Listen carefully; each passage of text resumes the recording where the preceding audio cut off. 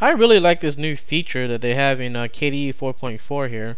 Uh, it's called a tabbing windows or um, grouping windows. Similar to the one you have in Compiz where you can group windows but I really like the way they did it here. Now there's two ways to do this. Uh, the first way is not really that impressive but uh, let me show you. So you have um, different windows here alright? And the first one to do this is you have this icon up top here and you just click on it and it says um, move windows to group. And then you select what window you want. Uh, I'm to combine it with XChat. And once you do that you have um, it tab like this see that? So you have a, a tab feature uh, within both of the programs there. And you can minimize both at the same time you know like that. So I dig that.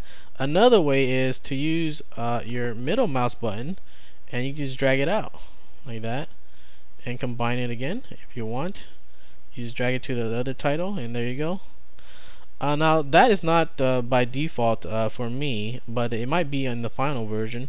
So if you don't have that uh, uh, by default and you want it, um, you would have to go and enable it. So let me show you that.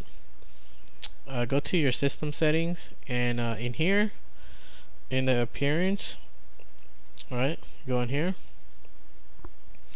And make sure in the styles it says oxygen because that's what you need for this to work. And I'll go back and go into uh, the Windows behavior here. Right this one. Now in here you go to uh, Windows behavior. And let me see here. Which one was it? Oh yeah the title actions title bar actions.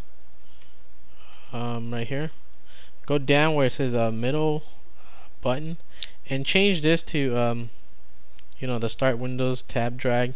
That's what you need. And then you go ahead and apply this changes right here.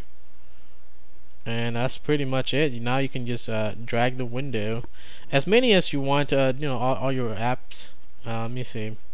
So we had this one. There's two of them already in here. Now if we want to drag this one we can just do it and there you go you have three of them very cool I like it you know the middle click and all that great uh, so that is the, the tabbing windows that you can do on KDE 4.4. Very good feature. Uh, that's it.